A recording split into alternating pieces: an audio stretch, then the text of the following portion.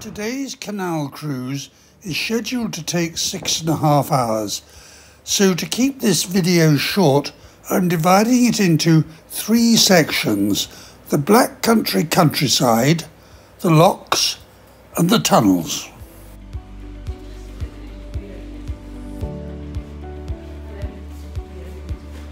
Unfortunately, no sooner had we arrived, but we were greeted by a light rain shower, which required a tarpaulin to be fitted on the boat.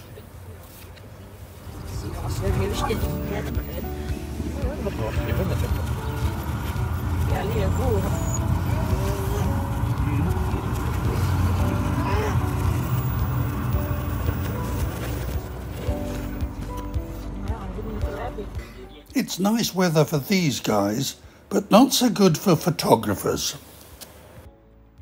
The rain soon eases off and we get our first view of the countryside. Both reckon they could do Birmingham within two hours down the front. The boat has its full complement of 60 passengers, which means that the footroom is rather limited in the bow of the boat. You've probably heard the saying Birmingham's got more canals than Venice. Well, that's true, but originally that saying was about Tipton. It's just Tipton on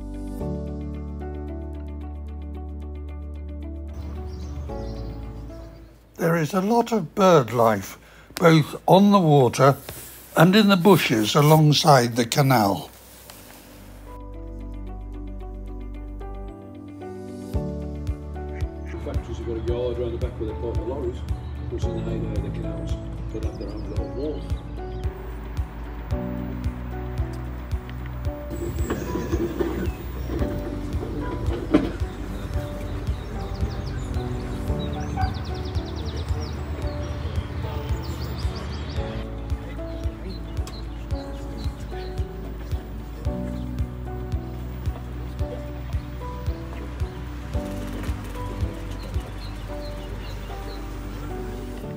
The number of anglers in the UK has dropped from 20,000 in the mid 90s to 11,000 today. Some fishermen seem to require more equipment than others.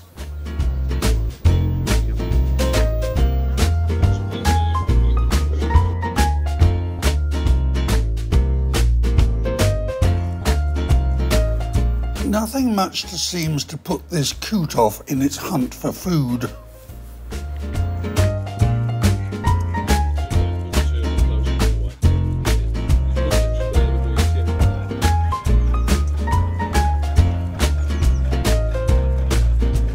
This canal tug is on its way to a gathering of tugs being held on the Dudley canals this weekend.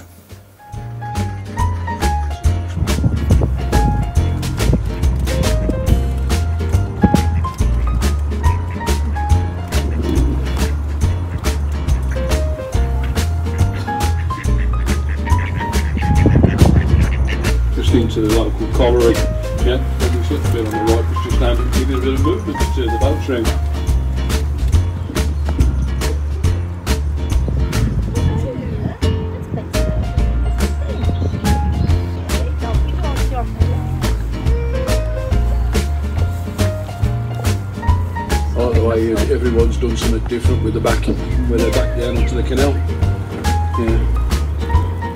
So now, in the 60s, 70s, nobody would have wanted one by the canal, would you?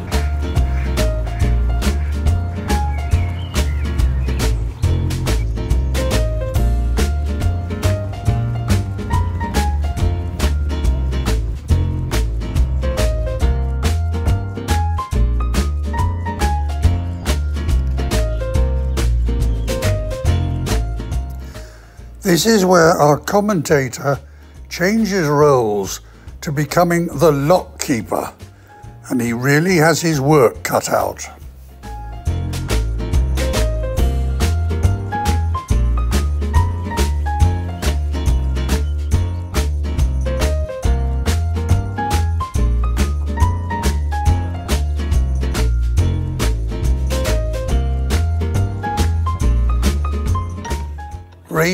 And lowering the sluice gates governs the flow of water through the locks.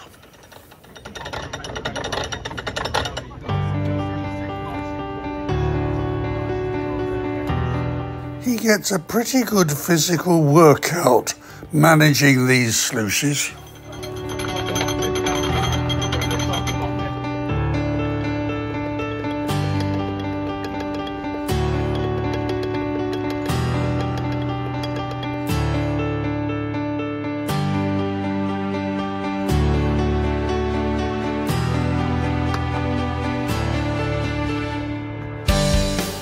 We make slow progress through this flight of locks, but it does give the opportunity for the passengers to get out and stretch their legs along the towpath.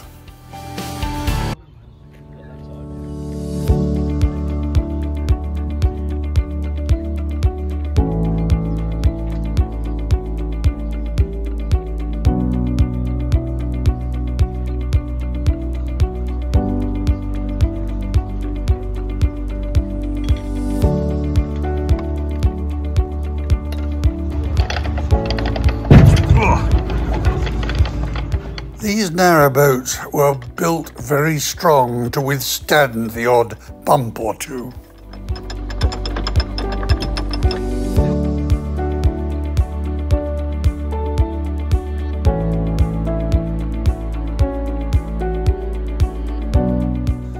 At the beginning of this cruise, we were warned to keep our hands inside the boat for very good reasons.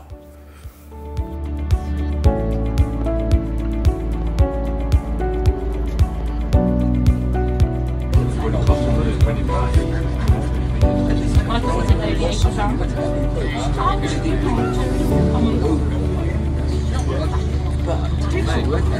only pay a hundred pounds that. No, no.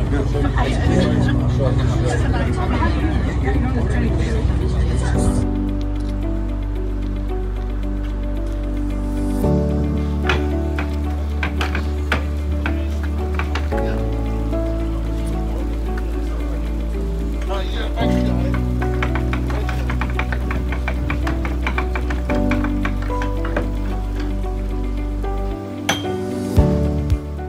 They may be called narrowboats, but they're pretty long as well.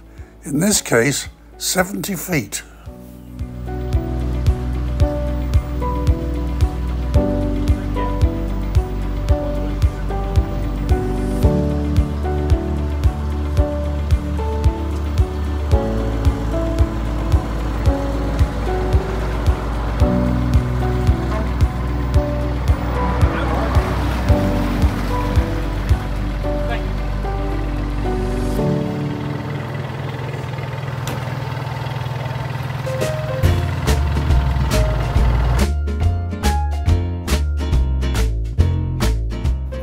Been issued with hard hats because the next tunnel is pretty low and there's quite a lot of water coming through the ceiling.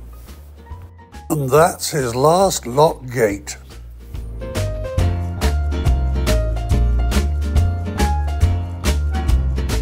I am now going to hand over to our commentator, who is far more qualified to take us through the three mile long Dudley Number 2 tunnel.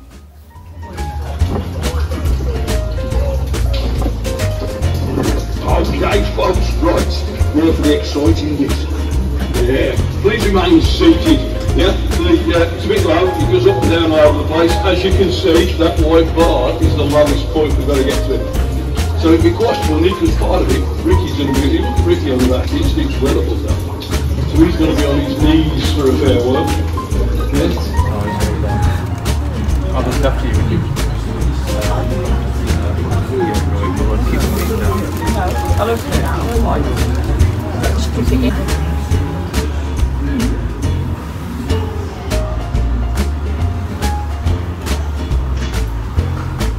Okay, so the full length of the tunnel, 1779, when the time it all went, went, went through. Now, um, they did do some, a lot of refurbishment work. So if you notice there was an 1800s date on the front, that's because this end sunk into a mine. Yeah, so they had to rebuild it all. Everything sinks into mines around here. Yeah, and what they did is actually built it higher so as they could allow for some more sinkage. It's over through coal seams, over coal mines, over iron ore mines, under iron ore mines, and through some limestone caverns. We've got everything going on.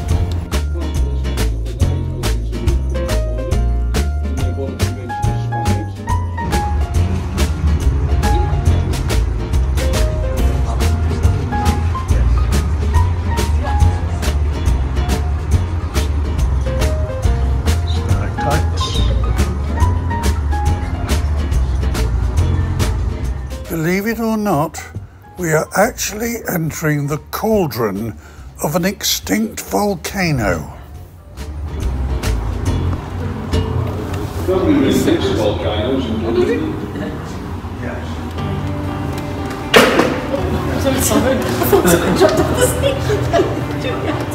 So they'll probably be about 130 foot underground. Singing cavern. The biggest, uh, the biggest cavern that's uh, accessible down here. Originally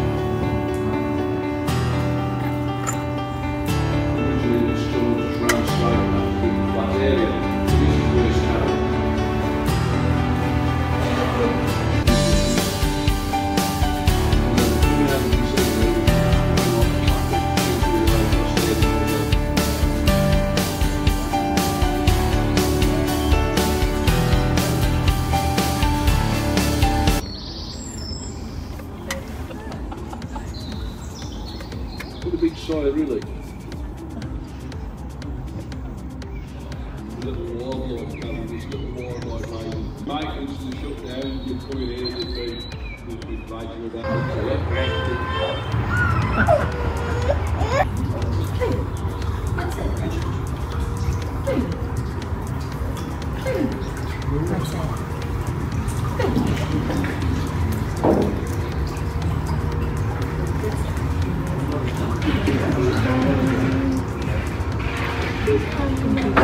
Welcome home. Here's our